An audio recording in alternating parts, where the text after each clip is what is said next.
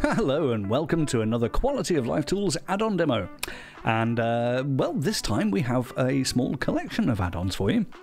Um, if you already own the full collection, don't worry, you'll get all of these for free. As always, for the last couple of years, I, uh, whenever I make a new add-on, I always add it for free to uh, the full collection, mainly as my way of saying thank you for, well, buying it in the first place. I do appreciate that, really, I really do. Um, but these ones are a small collection I'm releasing at the same time because they are very simple small add ons, but bloody useful on a day to day basis. And because they're so small and simple, I, I, I didn't think it was really fair to, uh, you know, sell them all individually for a price. So I uh, put them all in a nice little pack and uh, release them cheap for you. Cheap, that's a bad word, isn't it? Inexpensive. Uh, I think uh, about $4 for these. Um, you can install them all at the same time by, let's just go to default and let's go download and that one. You can just navigate to your, your bonus tools, zip, and and install the add-ons there. Um, but when you do it that way, you must bear in mind that you do need to activate them all individually. Um, so it's installed them all, but they still need to be activated individually, which is relatively easy. All you do is you just go down, find the QOL tools that are uh, install, so, and um, yeah, you, you, are good to go in that case. Um, I will go through them all with you in a second. Let's just go to. Do you know what? I'm going to restart this now. It's always good practice. There we go. Back again. So, uh, yeah, there we have context menu, blah, blah, blah, blah, blah. All good to go there. Um, so, yes, context menu is. I'll, I'll go for this first because the thing we do need to do with that one is make sure that that one is context menu, that that one is activated last. Right, and the reason for that one being is that it collects all the other add-ons in, in a smart way. And I will go through that with you in a second. So, flipped faces, what is that? Well, on geometry, often you, you will find that it's misbehaving for some reason you can't quite identify, and usually that will be because the normals are a bit messed up uh, by normals, you can check them in face orientation of the viewport overlays. And you can see when uh, an object is, or sorry, vertices or faces are pointing in the wrong direction. They're very, very obviously highlighted in this view. And you, you, can see the reason for things being a bit messy there. It's not always super apparent. Um, it kind of is on this one because I have um, also a bevel modifier added to it, so it's pretty obvious that things have got messed up there.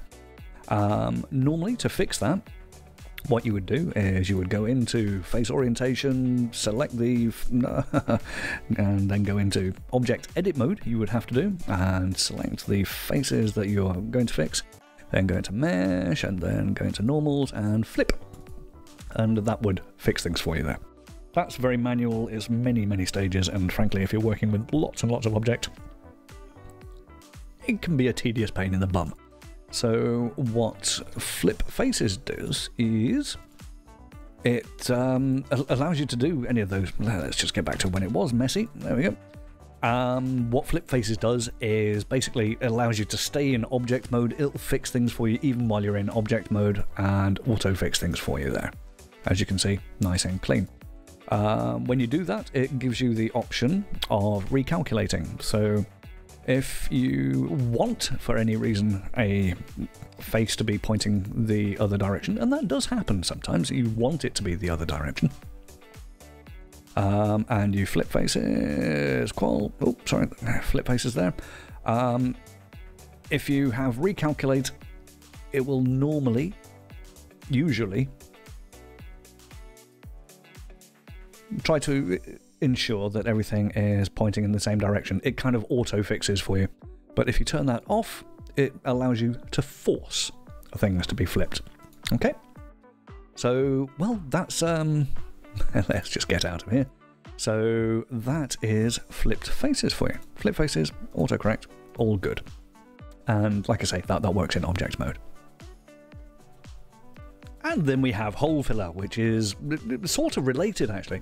Um, what that does is, again, allows you to stay in object mode and looks for and repairs holes in your meshes. When I say holes, I mean, well, usually missing faces when something is no longer watertight. Um, I'm sure any modeler will know how to fix these things manually, but again, that can usually be a bit of a pain in the bum. So what Hole Fixer does is it, um, well, just fills the holes. It, it looks for and auto repairs missing data or, or missing missing faces in, in uh, meshes, as we can see. Let's go into another mode here. The object mode again.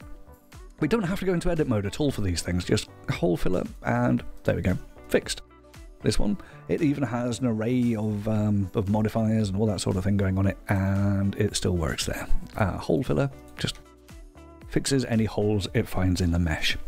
Okay, um, nice and simple, really.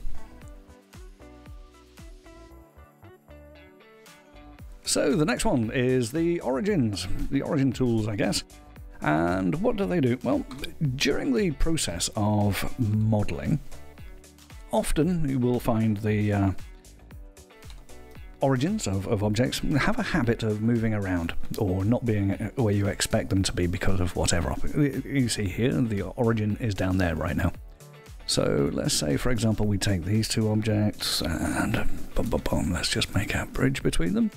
Uh, QOL, there we go, a plug-in for another add-on of mine. Uh, and also Smart Smooth, there we go. So now this object has its origin placed up here. As you've seen during the process, these things have a habit of just uh, moving around. What was I doing there? I don't know. Um, ooh, there we go. Blah, blah, blah, blah, blah, For a roundy thing there. There we go. Uh, anyway, yeah, sorry, I do get distracted, don't I? Uh, yeah, the origin is, as you can see, uh, might be hard to see because of uh, YouTube, but it's uh, orange on orange. The origin is now up there. What we can do to move the origin, I usually like to have it at the base of an object. I find it that's just more uh, logical. It makes more sense to me to have it at the base of the object. So QOL uh, origin to base, and it will move it to the lowest point it can find on that object. And again, don't know if you can see it here, but now it's at the base there. And that is in world space. So, whatever orientation you have the object, if you set origin to base, it moves it to the lowest point it can find. Okay, so that's pretty much that one. And what else do we have? We have the match origins. So let's make a couple of copies of this, blah, blah, blah, a few of those. And let's make a copy of this one. So, any amount of objects, and select your target object, and you can match the origins. Um, this one is actually a bit of a, a, weird one to describe, I guess, but you know it when you need it, and I find I use that one surprisingly often. It's just a handy little tool to have matching the origins of objects. Again, bear in mind that is in world space, so whatever parenting structure you have, it, it will um, make it the actual origin of the other object. So that one is where the other one used to be. Uh, say you would want it in the same place, all you do is match origins. There we go, match origins. That's that one, I guess. So finally, we have the transform tools, which is part of the bonus tools objects. Bonus tools. So, say you've been modeling on something and moving it into the scene, and you've got it all positioned quite nicely. Uh, let's scale this as well. You know, all, all the things you would do. And later on, you realize, oh, I really wanted to make an addition to this, and it, it's quite messy working, um, well, in this angle and all that sort of nonsense. What you can do is make a copy of it and reset transforms. And what that does is, yeah, it's as it was before you started messing around with things. And that makes it much easier to model with things not in situ, but in, well, a, a more sensible orientation for actually doing the modeling. Uh, so let's take that for example, move that down there and merge these into one object. Uh, just for the sake of this one, what I'm also going to do is round. No, no, let's leave that as is. And so now, obviously, you, you want that to be where this is. I like to think of this add on as more of a be like this add on. So that one, we want to be like this. And QOL match transforms. And as you see, what that's done is replaced that one. We can optionally have that on or off. And yeah, it just, just makes everything as it should be. These two, for example, we also want them to be like that. So match transforms. It does multiple objects at the same time. Oh no, what went wrong, you might think? Well, I replaced them. But uh, here we go. Everything is in the same orientation, the same transformations, all that sort of thing as the target. And again, at any time, if you want to revert that, just reset transforms and it's back to the way it was. And note also that this has all modifiers. It's got a whole load of modifiers on. No, it doesn't actually. Not anymore. There we go. Yes, it does. Modifiers, and they work as well, just as they did before. And that is, I think, pretty much it. So that's basically it for Bonus Tools 1. Uh, one, because, do you know what? I think this is the first of probably a, a few of these.